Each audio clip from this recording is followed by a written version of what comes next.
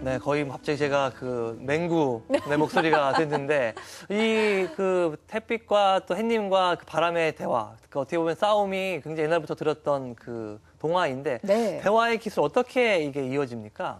어떤 이제 문제를 잘 해결을 하려면은 방법이 중요하다 그거죠. 그러니까 대화도 어떤 요령과 방법이 필요한 거죠. 바람처럼 성급하게 무식하게 덤벼들었다가 결국은 우리가 목적을 이루지 못하잖아요. 그러게 말이에요.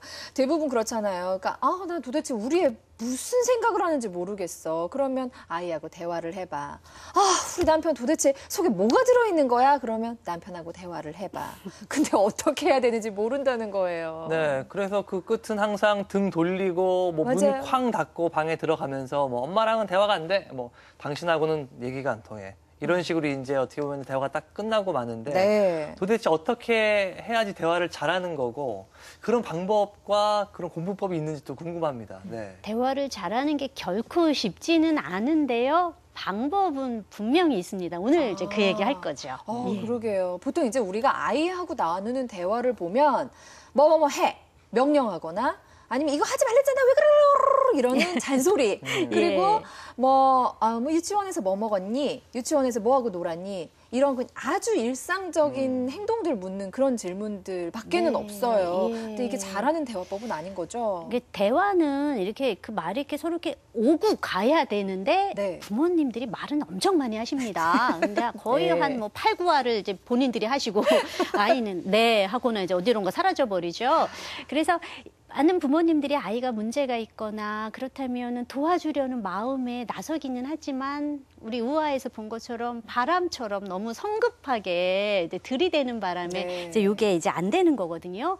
그래서 특히 지금 얘기하신 것처럼 몇몇 가지 되게 특히 나쁜 버릇들이 있어요. 근데 대화를 이제 하려면은요, 특히 첫머리에 이렇게 말 자르는 요런 그 어투는 사용하시면은 안 돼요. 그래서 아. 이제 그런 거 우리가 흔히 의사소통의 걸림돌이라고 하는 네. 것들 좀 많더라고요. 이제 그거 한번 살펴볼게요. 네. 이제 어떤 게 있냐면은 대표적인 게 지금 얘기하신 명령 또는 강요. 아. 여기엔 꼭 요런 말이 들어가요. 반드시.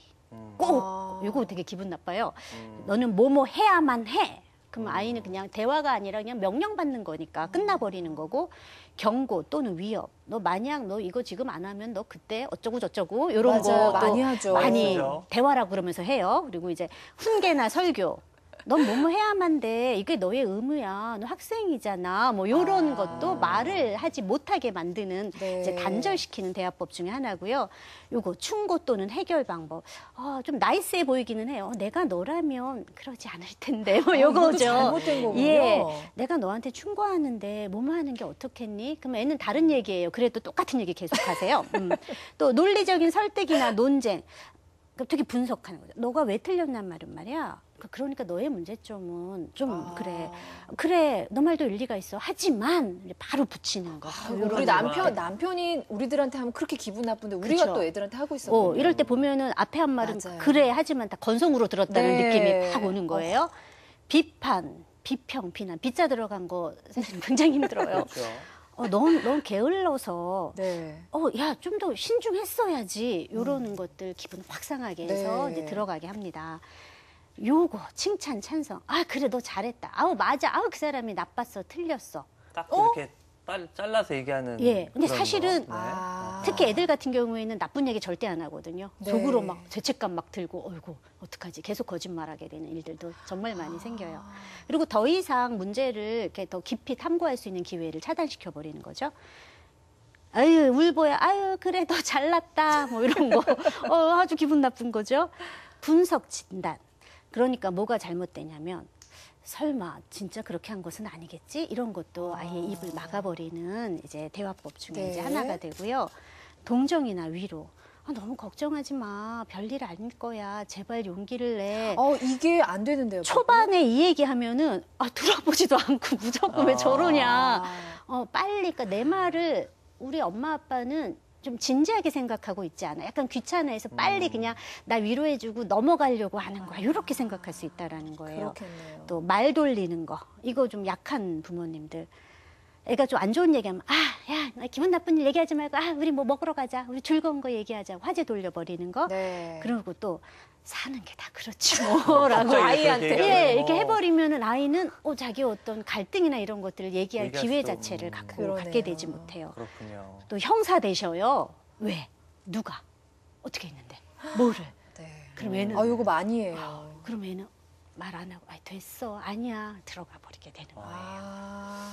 자, 보통 때 저희가 아주 자주 쓰는 말들이고 네. 이런 말이 나쁜 말이 아니 나쁜 대화법이 아니라고 생각을 했는데 좀 의외인 것도 있습니다. 예. 그렇죠. 뭐 칭찬 같은 거, 뭐 충고, 해결 방법. 근데 제가 말씀드린 것처럼 우리가 아이들은 아직 지식과 경험이 부족하기 때문에 때로는 우리가 충고나 해결 방법, 뭐 논리적으로 얘기하는 것도 해야 되는데요. 네. 이런 것들을 특히 대화의 첫머리에 하시는 거는 아예 대화 자체가 이어지지 않고 문제에 대해서 제대로 알지도 못한 상태에서 하는 거는 정말 위험하다라는 거고요. 네. 또 가끔 에이 그래 너 잘났다 우리 이런 얘기 좀 해요.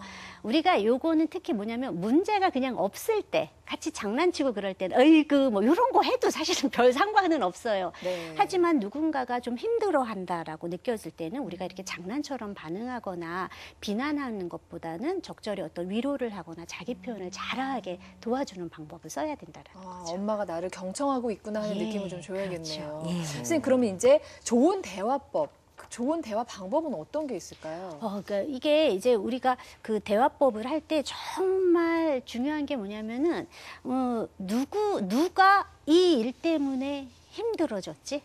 아, 어, 그러니까 어떤 일들이 일어났을 때 아이가 뭐 속상해서 울고 들어왔을 때 제가 힘든 거잖아요. 네. 그래서 누구한테 문제가 있는지를 잘 가려야 되는데 그거에 따라서 우리가 대화의 기술이 있다 그랬잖아요. 방법을 쓰는 거예요. 그래서 네. 그 말을 우리가 이제 문제 소유 가리기라고 이제 얘기를 하는데요. 여기서 이제 문제는 문제의 원인이 아니에요. 네. 이 일로 인해서 누가 곤란해졌고 아, 누가 화가 났고 누가 슬프고 누가 네. 힘들어지고 누가 피해를 입었는지 아. 그거를 잘 가려야 되는 거예요. 네. 그래서 크게 이제 세 가지의 문제로 나눌 수가 있는데 첫 번째 부모 자녀 관계 같은 경우에 자녀가 문제를 가졌을 때 부모는 별 상관이 없어요.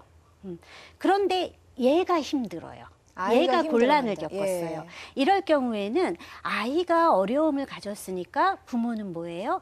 아이를 위로해주고 아이가 스스로 문제를 해결할 수 있도록 돕는 기술을 사용을 하는 거고요. 아. 이게 우리가 맨날 하는 마음 읽기예요. 음. 아이